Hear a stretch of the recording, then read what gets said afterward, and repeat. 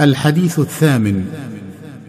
قال رسول الله صلى الله عليه وآله وصحبه وسلم لا تزال طائفة من أمتي ظاهرين على الحق لا يضرهم من خذلهم حتى يأتي أمر الله وهم كذلك.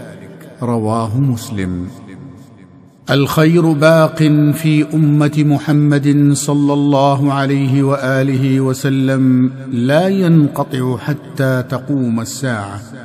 فيقول صلى الله عليه وسلم لا تزال طائفة من أمتي ظاهرين على الحق لا يضرهم من خذلهم أي ثابتة على الحق وهي معانة من الله منصورة على من خذلها وحاربها.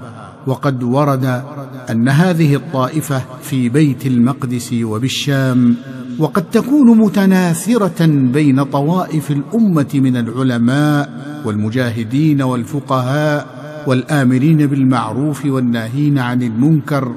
ويقول صلى الله عليه وسلم حتى يأتي أمر الله وهم كذلك أي ستكون هذه الطائفة على أمر الله مستمسكين وبه قائمين حتى يأتي أمر الله.